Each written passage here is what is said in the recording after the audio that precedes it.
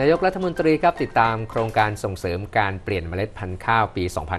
2566 ส่งผลให้เกษตรกรกว่า 200,000 ครัวเรือนนะครับเข้าถึงเมล็ดพันธุ์ข้าวที่คุณภาพดี คาดจะได้ผลผลิตข้าวคุณภาพดี 2.6 ล้านตันข้าวเปลือกครับ ในอนุชาบุรพชัยศรีโฆษกประจำสำนักนายกรัฐมนตรีเปิดเผยว่า กรมการข้าวกระทรวงเกษตรและสหกรณ์ร่วมกับผู้นำชุมชน ศูนย์ข้าวชุมชน ภายใต้แผนงานยุทธศาสตร์การเกษตรสร้างมูลค่า ตามนโยบายนายกรัฐมนตรี เพื่อส่งเสริมให้เกษตรกรได้เปลี่ยนมาใช้เมล็ดพันธุ์ข้าวคุณภาพดี เพื่อเพาะปลูกอย่างทั่วถึงส่งผลให้ผลผลิตต่อไร่นั้นเพิ่มขึ้น และสามารถแข่งขันในตลาดโลกได้ โดยมีเป้าหมายการเปลี่ยนเมล็ดพันธุ์ข้าวจำนวนกว่า 50,000 ตัน ให้เกษตรกรกว่า 200,000 ครัวเรือน ในพื้นที่ 76 จังหวัดทั่วประเทศ รวมทั้งยังสามารถนำเมล็ดพันธุ์ข้าวมาใช้เพาะปลูกได้ถึง 3.91 ล้านไร่ ซึ่งคาดว่าจะได้ผลผลิตข้าวคุณภาพดี 2.60 ล้านตันข้าวเปลือก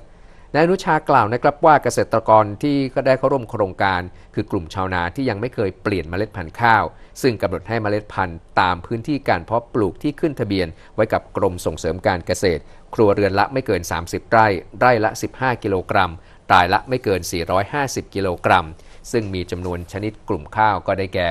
เมล็ดพันธุ์ข้าวหอมมะลิ เมล็ดพันธุ์ข้าวเหนียว เมล็ดพันธุ์ข้าวหอมปทุม และเมล็ดพันธุ์ข้าวขาว ทั้งพื้นแข็งและพื้นนุ่ม ซึ่งดำเนิน การดำเนินโครงการทำให้ชาวนานั้นได้รับเมล็ดพันธุ์ข้าวคุณภาพดีไปปลูก ได้ผลผลิตข้าวคุณภาพดี ตามความต้องการของตลาดทำให้สามารถจำหน่ายข้าวเปลือกได้ราคาเพิ่มขึ้น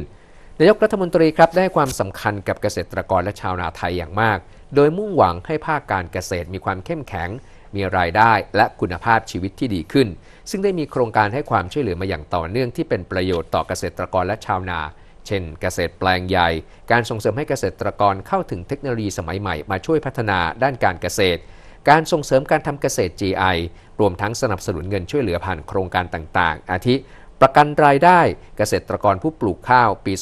2565ทับ2566 รอบที่ 1 ได้โอนเงินให้แก่เกษตรกรแล้วกว่า 2.6 ล้านครัวเรือน วงเงินกว่า 7,000 ล้านบาท รือจะเป็นโครงการสินเชื่อชะลอการขายข้าวเปลือกนาปี มีผู้เข้าร่วมโครงการกว่า 3 0 0แสนราย คิดเป็นปริมาณผลผลิตกว่า 2 ล้านตันข้าวเปลือก